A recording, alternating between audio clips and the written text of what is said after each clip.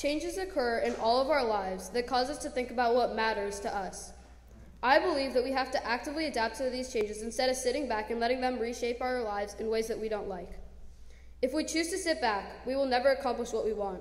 We will just be perpetually disappointed, thinking about what could have happened, happened if we ad- adapted instead.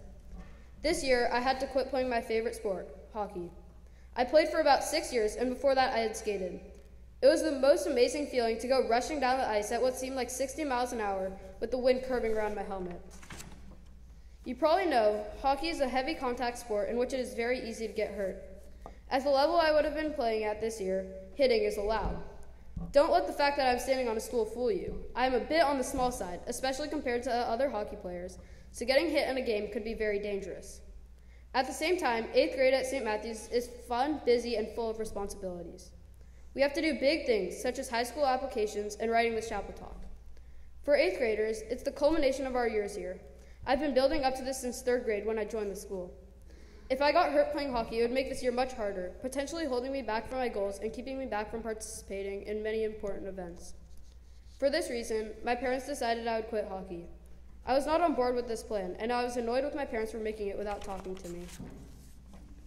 Although I understood their reasoning, I didn't like it, and I fervently hoped they would change their minds. Meanwhile, I pouted and had a bad attitude about it. I didn't want to try anything new for months after quitting.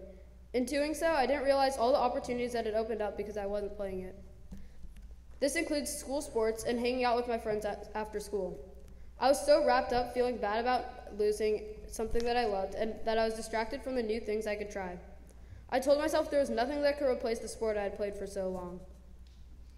I spent some months afterward not doing much except for school and a couple of extracurriculars. I was doing good in most of the things I was doing because of the time that I had. However, it got boring, and once I realized that I couldn't play my favorite sport, I started to think of what else I could do.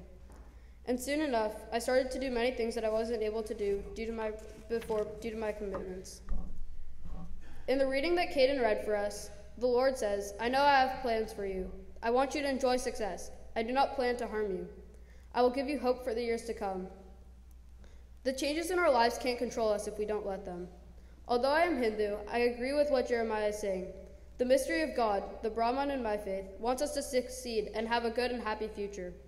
In the same way, my parents made the decision about hockey, not to take away my joy and ruin my life, but to protect me and my future successes.